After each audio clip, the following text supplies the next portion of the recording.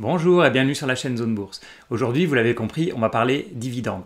Et c'est drôle parce que la notion de dividende, c'est sûrement l'une des choses les plus connues, non seulement dans le monde de l'investissement, mais même euh, à côté. Si je vais dans la rue pour demander aux gens ce qu'est un dividende, je pense qu'ils arrivent à peu près à m'expliquer ce que c'est. Et je pense même que ce sera plus facile pour eux de répondre à cette question que si je leur demande, par exemple, quelle est la différence entre une action et une obligation. Et pour l'anecdote, ça je le sais parce que j'ai fait passer des centaines d'entretiens à des jeunes diplômés. Je posais régulièrement cette question de différence entre action et obligation et vous seriez surpris du nombre très très élevé d'étudiants qui sont incapables de répondre à cette question. Et si on revient du côté des dividendes, c'est vrai que c'est une notion qui est connue, qui paraît simple, mais en fait quand on commence à se poser des questions très précises sur comment se passe un versement de, dividendes, est-ce qu'il faut aller euh, vers des euh, actions de rendement, ben là on se rend compte que c'est finalement pas si simple. Donc c'est pour ça que je vais vous passer en revue 5 pièges très classiques chez les investisseurs. Alors je vais commencer par un petit rappel. Le dividende, c'est tout simplement la partie du résultat qu'une entreprise décide de reverser aux actionnaires. Une entreprise, si elle fait des bénéfices, elle peut décider de les utiliser comme elle veut. Elle peut les mettre en réserve dans son bilan, et dans ce cas-là, euh, utiliser donc ces, résultats pour réinvestir, pour racheter ses propres titres, euh, ce qu'on appelle un share buyback, ou bien pour réduire sa dette mais elle peut aussi décider d'en reverser une partie à ses actionnaires sous forme de dividendes.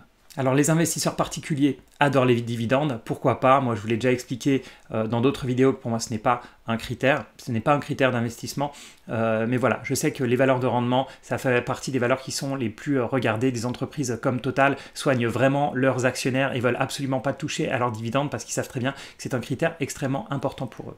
Mais cette vidéo, elle est justement pour les investisseurs qui adorent les vides dividendes, pour ne pas tomber dans les pièges suivants. Le premier piège, c'est d'acheter une valeur juste avant le dividende pour en profiter. Parce que les dividendes ou les coupons sur les obligations, etc., ça existe depuis que les bourses existent. Ça existe donc depuis des siècles. Et le marché, il est bien arbitré, et le cours de bourse, il baisse du montant du dividende le jour du détachement. Alors, je vais vous rappeler un petit peu comment un détachement se passe. Je prends comme exemple le paiement du dividende d'Air Liquide cette année. Donc le 11 mai, c'était un lundi, c'était la date de détachement, ce qu'on appelle aussi l'ex-date. C'est-à-dire que c'est le jour à partir duquel vous ne touchez plus le dividende si vous achetez. Alors pourquoi? On va rentrer un petit peu dans le détail. Parce que pour Air Liquide, ce qu'on appelle la record date ou la date d'arrêté des positions, c'est le mardi 12 mai. Et comme la livraison des titres a lieu à T plus 2, c'est-à-dire deux jours après l'achat, il faut acheter au plus tard le vendredi 8 pour être livré à temps.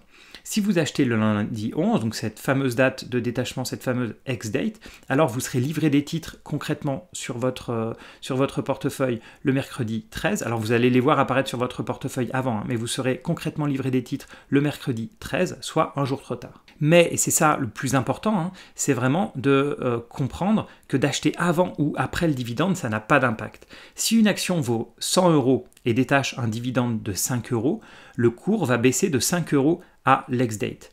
Justement, il n'y a aucun arbitrage possible. Bien sûr, ce jour-là, il y aura quand même une variation, euh, comme tous les jours de, de, bourse, il y a des variations, mais pour la calculer, la valeur du cours de bourse de la veille est recalculée à 95 euros. Donc si le jour du détachement du dividende, par exemple, le cours ouvre à 96 euros contre 100 euros le jour précédent, vous allez voir une hausse de 1,05% et non pas une baisse de 4%. Et le deuxième piège chez les investisseurs, je vous l'ai déjà dit un petit peu, c'est que les particuliers adorent les dividendes, donc ça va devenir un critère extrêmement important dans leur choix de, de titre. Et comme je vous l'ai déjà expliqué, le bénéfice distribuable, il peut être soit gardé au sein de l'entreprise, ou bien reversé aux actionnaires sous forme de dividendes. Mais, et c'est là où il faut faire attention, dans tous les cas, ce qui importe, c'est bien le résultat de l'entreprise, bien plus que le dividende. Si l'entreprise est très performante, il vaut mieux qu'elle réinvestisse, ou bien qu'elle rachète ses propres actions ou bien par exemple si elle est trop endettée, il vaut mieux qu'elle réduise ses dettes plutôt que de se saigner pour faire plaisir à ses actionnaires. Et c'est déjà arrivé, on a vu des sociétés qui se saignent pour maintenir leurs dividendes jusqu'au bout, pour finalement faire faillite. Et ça nous amène au troisième piège. Si, comme je le disais, vous cherchez principalement des valeurs de rendement, donc qui payent de gros dividendes, vous allez vous retrouver surinvesti sur certains secteurs. Donc là, j'ai utilisé le stock screener de, Zone Bourse pour regarder euh, les valeurs avec le plus gros rendement, en mettant un certain, donc sur la France et en mettant un certain seuil de capitalisation boursière, et on voit qu'on se retrouve avec des foncières, des pétrolières, des télécoms, des bancaires, des utilities. Et à l'inverse, vous n'aurez aucune valeur de croissance puisqu'elles réinvestissent le plus possible le résultat. Le quatrième piège, c'est de regarder, euh, qui est toujours lié d'ailleurs au troisième, c'est de regarder le rendement en pourcent sans réaliser que le rendement a explosé parce que le cours de bourse a énormément baissé. Donc vous avez un risque que le dividende soit coupé et de vous retrouver, si c'est vraiment, si vous regardez les plus gros euh, rendements en pourcent, vous allez vous retrouver avec tous les losers du marché, vous n'allez pas comprendre pourquoi vous allez euh, perdre de l'argent alors vous achetez que dans des valeurs avec des énormes rendements en théorie et en pourcent. Alors le cinquième piège, c'est la fiscalité. Alors, bien sûr, vous êtes peut-être euh, investi au travers d'une assurance vie, dans un PEA, etc. Mais euh, ce qu'il faut savoir, c'est que dans la majorité des cas et dans la plupart des pays, les revenus sont plus imposés que les plus-values. Alors, tout ça dépend bien sûr de votre situation personnelle, de vos revenus annexes, etc. Mais c'est vrai que, personnellement, je préfère que les revenus restent dans l'entreprise le plus longtemps possible. Et c'est notamment à cause de la notion d'intérêt composé. Pour que mes investissements fassent le plus de petits possible, je préfère que l'imposition se fasse le plus tard possible. Donc ça reste dans l'enveloppe de la société, si vous voulez, euh, surtout des sociétés en forte, croissance, et que ça me soit euh, versé, entre guillemets, sous forme typiquement de plus-value le plus tard possible, c'est-à-dire au moment de la vente. Voilà, j'espère que vous avez appris quelque chose donc sur cette fameuse notion de dividende. Donc je vous rappelle que sur la chaîne euh, Zone Bourse, vous avez l'émission de Nicolas Chéron tous les mardis. Moi, j'essaye de faire en général euh, une vidéo le mercredi, une vidéo le, vendredi, deux vidéos par semaine. Alors ce sera peut-être un petit peu moins pendant cette période de, fête. Je vous rappelle aussi qu'il y a Roxane qui fait la revue de presse euh, tous les jours sur la chaîne Planète Bourse.